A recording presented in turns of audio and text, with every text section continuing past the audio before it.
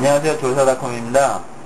지금부터 참다랑어 뱃살 해동법에서 손질법까지에 대해서 알아보도록 하겠습니다. 아, 먼저 어, 해동을 해주셔야 되겠는데요. 먼저 어, 이런 요만한 이 뱃살이 들어갈 만한 용기에 먼저 찬물을 부어 주십니다.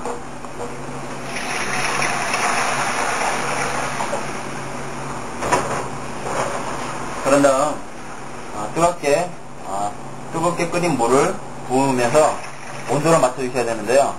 온도는 저희들이 손을 넣었을 때 약간 따끈한 정도면 됩니다. 아, 온도로 말씀드리면 한 60도 정도 어, 그 정도 손 됩니다. 온도가 맞춰졌으면 어, 염도를 조정해야 됩니다. 염도는 바닷물 짜기보다 약간 조금 더 짜게 그렇게 염도를 맞춰주시면 됩니다.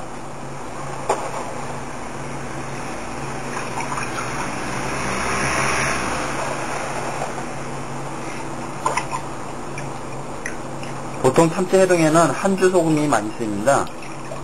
자, 이렇게 아, 물 온도와 염도를 맞추셨으면 참치를 아, 넣어서 아, 처음에 씻어줍니다.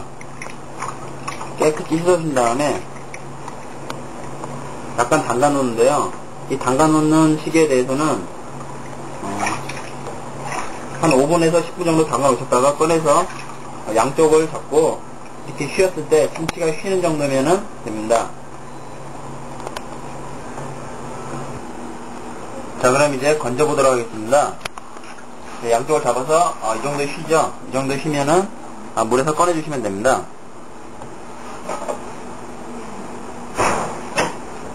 그런 다음에 깨끗한 가지수건 위에다 올리신 다음에 손질을 해주셔야 되는데요. 먼저 물기를 한 번만 제거해 주십니다.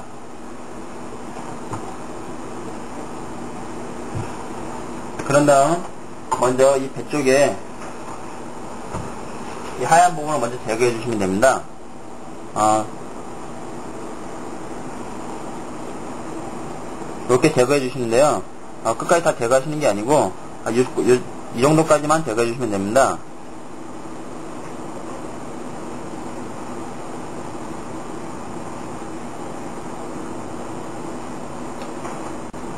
이쪽은 이 정도는 남겨주셔야 됩니다. 그런 다음 등 껍질을 벗겨주셔야 되는데요. 보시면 이쪽 하얀 부분이 있습니다. 이 하얀 부분과 껍질이 있는데 이 하얀 부분까지 다 발라내시면 안 되고요. 껍질만 발라내셔야 됩니다.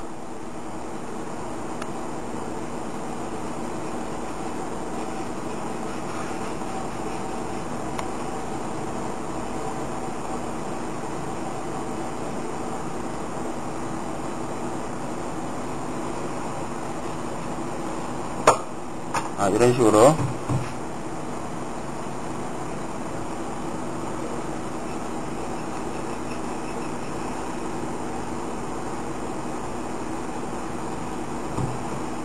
이런 식으로 발라주시면 되고요.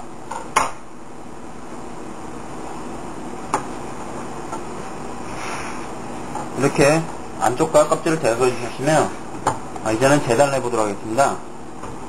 어, 흔히 일식집에서 이 앞부분 배꼽 사이라 해서 따로 사용합니다. 그렇기 때문에 이 앞부분은 이렇게 칼로 잘라주셔서 따로 보관합니다. 그리고 아까 이만큼 남겨주셨죠? 이게 있어야 아, 씹을 때 약간 씹히는 맛이 있어서 좋습니다. 이쪽은 칼집을 살짝만 넣어주세요. 이런 식으로요. 놔두신 다음에 자 이제 참치를 잘라보는데요. 이쪽 하얀 부분이 있는 쪽과 없는 쪽 부분이 있습니다. 자르실 때는 항상 이 하얀 쪽 부분이 어, 요리를 하는 사람 앞으로 오게 해, 해 주셔야 됩니다. 그리고 힘줄이 지금 이렇게 결이 되어 있거든요. 이렇게 되어 있으니까 아, 이쪽으로 이렇게 자르시는 게 아니고 반대쪽으로 엇갈리게 이렇게 잘라주시면 됩니다. 계단 한번 해보도록 하겠습니다. 이렇게 잡으시고 이렇게 이런 식으로 잘라주시면 됩니다. 참치가 완전히 해동되면 어, 자르실 때 깨질 염려가 많습니다. 그렇기 때문에 약간 타르는 상황에서 잘라주시는데 이런 경우에는 약간 한 번에 안 썰립니다. 그렇기 때문에 파도 썰기식으로 해서 잘라주시면 됩니다.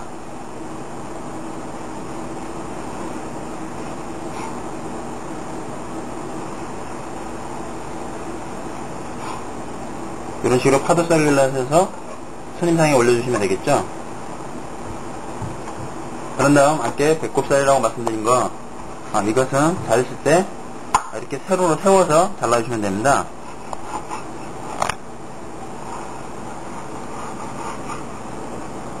참치가 상당히 기름기가 많은 생선이라 미끄러우니 아주 조심하셔야 됩니다. 이런 식으로 해서 참치 배꼽살, 그 다음에 참치 일반 살 이런 식으로 해서 재단을 해주시면 됩니다. 네, 그 다음 참치 보관하는, 보관하는 방법은요. 아, 이런 사각으로 된 아, 참치 해동지가 있습니다. 이 해동지에 싸서 바지런히 싸서요.